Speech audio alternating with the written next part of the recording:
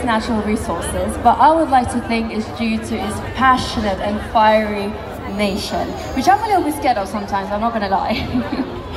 um, this performer has dedicated her life to introducing a piece of her culture to others through the power of folk dancing and founding her own very own dancing school here in UK. Today she will be dancing Terekeme Reqsi, which is a traditional dance from Azerbaijan. Please give a big round of applause to Sakina.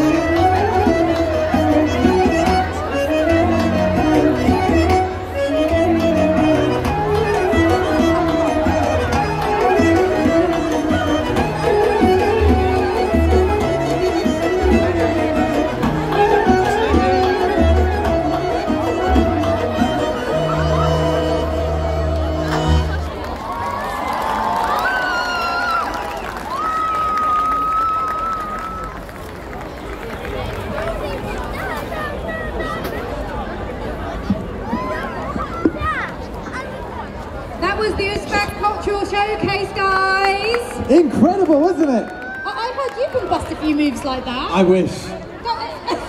I can't, I can't. That, that looked like a seagull, but okay. Yep, yep, a very annoyed seagull.